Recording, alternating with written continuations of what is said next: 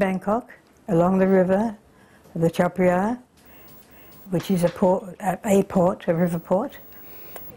There are many communities, 43 actually, living along this strip of the river.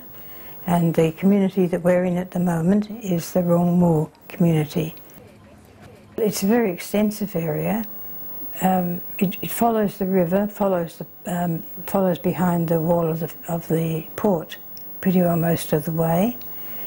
Um, and the people come to this area because they hope that they can get work.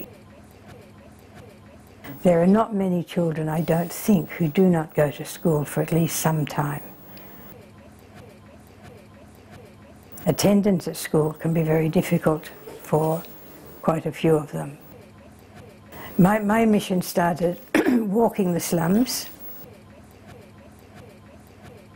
I used to take uh, maybe one step in and two steps out in, in these long, because when you walk into the little sois, the narrow sois between the houses, you, it felt like you could walk for miles and just keep going.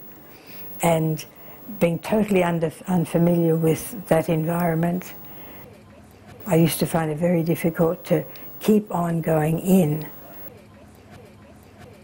At Makasan, which is a, is a very big um, slum community, and mainly Muslim, there are a very big Muslim community there, very poor, at that time anyway, and then a third community at what's known as Sapan Kwan, which is a community that's almost, but not quite, under the, the Rama Nine Bridge. Two things struck me. One was that there were mums trying to feed babies from the breast, breasts that were virtually empty, dry. And then they would be uh, feeding the babies from the ex excess water taken off the rice. When they boil the rice for the family, they take the excess water off it, put some sugar into it, and that's what they were feeding their babies. And so the first real thing that um, struck me as a need was to help these mums. Samlo Song, so he's put on nearly a kilo in, in the three weeks. Very good. And look, he's quite happy to be there.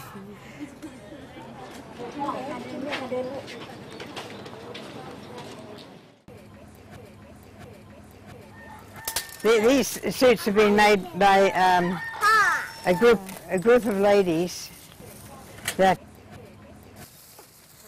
sew many many things for us, and then when they get a chance, send them send them to us. And we got two bags last week. These have come from from Perth, from a, a group of elderly, mainly elderly ladies who, who sew, do these, make these little garments.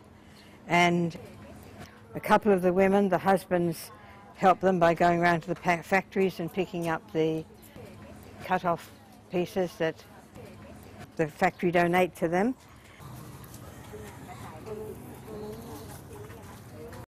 I'm a presentation sister from the Western Australian congregation.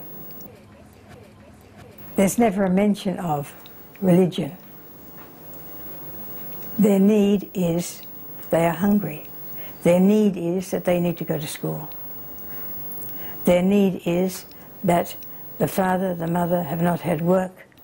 There's no, there's no money in the house, therefore there's no rice. Therefore they are in need of a donation to help them through the next day, or this day even. And so money is, is, the, is the thing that we're able to help with most.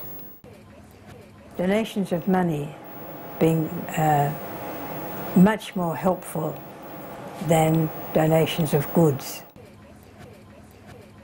The young people who are coming now this afternoon, um, they are already organised, they have a card, and I have um, a page for them in, in the notebook, and so on that page tells me exactly the amount of money that I will give to each, each student personally.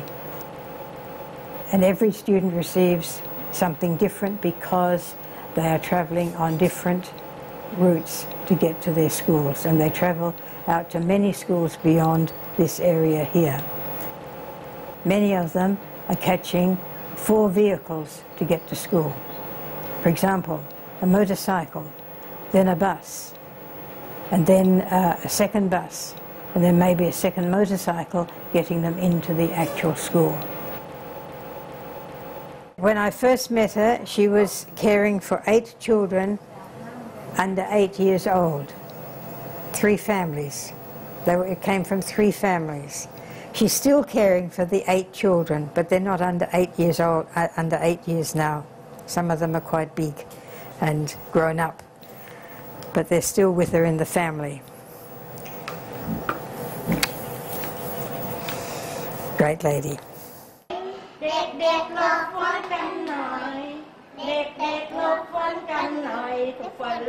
This year we probably distributed over 300 uniforms.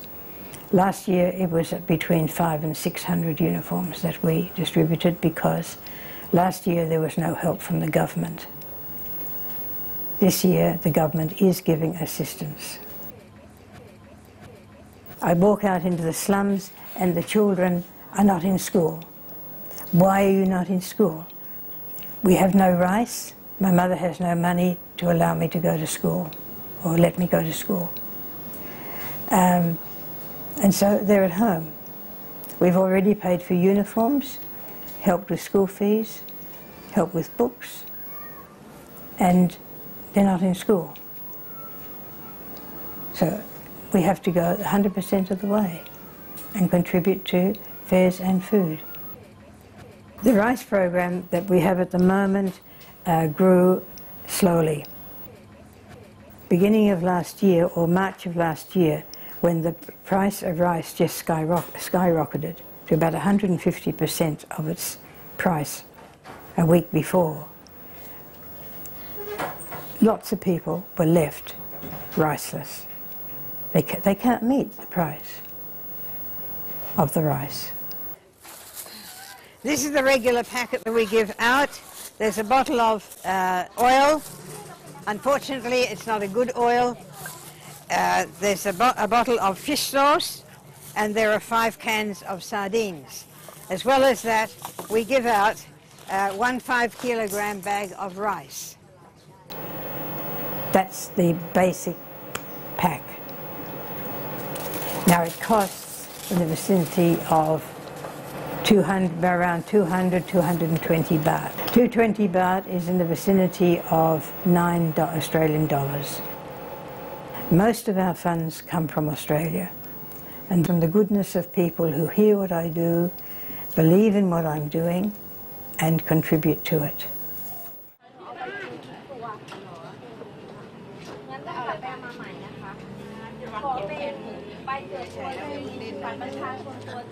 เอาไปไปเลยไปที่รถเลยเรียงไว้ให้หมดแล้วฝากเอาไว้เพราะไม่อยู่บ้านมันไม่ได้เอามา